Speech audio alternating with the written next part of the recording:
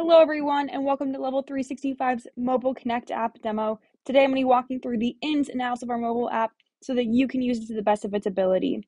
Let's get started. As you can see here, I already have it pulled up on the App Store. All we're going to do is hit the download button. This can say get or it can have a cloud icon with a downwards arrow or it can look in a variety of ways. But in any case, we're going to download it and once it's fully loaded, we're going to hit the open button. As you can see here, the login screen should appear. Here you're going to type in your login name. This should have been emailed to you and an email with the subject line, your new phone system account from no reply at level365.com. Usually this looks like your extension number at symbol, then your company domain. For example, my extension number is 1001 at symbol level365.com. Then we're going to type in our password.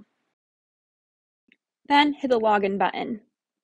As the screen loads, you're going to get a bunch of pop ups, starting off with the notifications. If you would like to get phone calls sent to this phone, which I'm assuming you would, please hit the allow button. Next, it's going to ask if you would like Level 365 to use Siri. If you hit the OK button, you can make calls using Siri saying, Hey Siri, call Sarah with Level 365. And it should load that screen for you. So this is totally a personal preference, but I'm going to hit the OK button. Next, it's going to ask if you like Level 365 to access your contacts. Again, this is totally a personal preference. I like to keep my business contacts separate from my personal contacts, so I'm going to hit the do not allow button. But again, this is totally a personal preference. And then finally, it's going to ask Is it okay if Level 365 accesses your microphone? In order for you to make phone calls and do recordings, you're going to have to hit the OK button. With that said, the first screen you see here is your contact screen. You should be able to scroll here and already have a bunch of contacts in there that are associated with your company. You can also add additional contacts with the plus button in the top right. And you can dial phone numbers here if they're not already in your contacts. Your screen may look a little different than mine. In the bottom right of every company contact, you'll see a small circle with a phone icon in it. If the circle is red, it means the user is on an active phone call or their phone is set to do not disturb.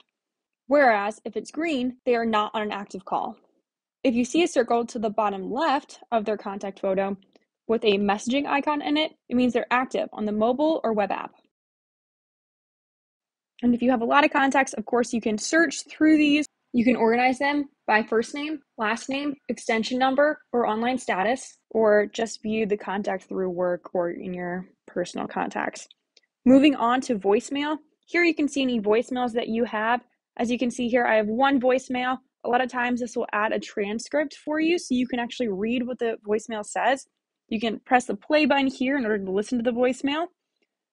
You can redial or call the contact back here. You can save the voicemail for future use.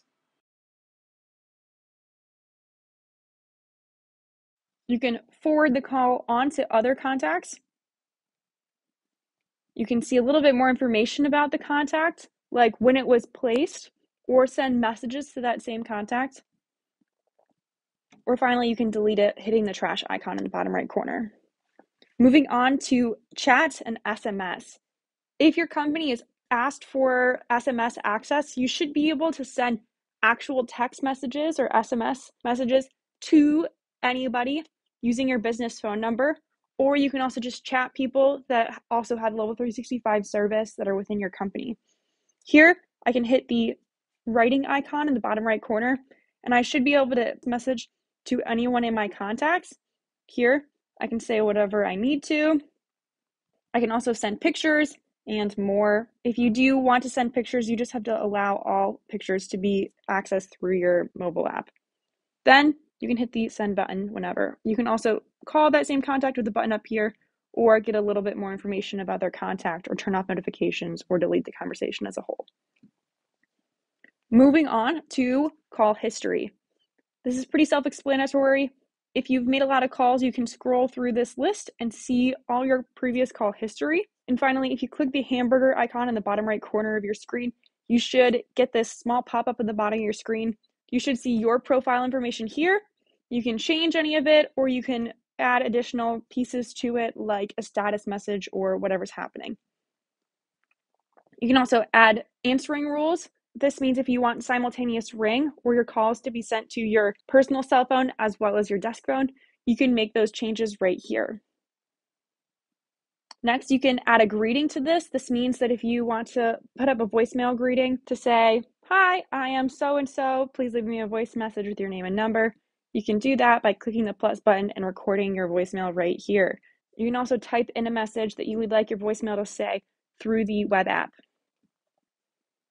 Finally, you can go into the settings right here. You can view a little bit more about the app or send us any feedback if you have any. Finally, you can log out.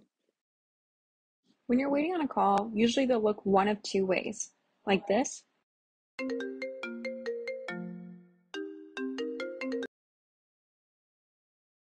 Or if your phone's already open, it'll look like this.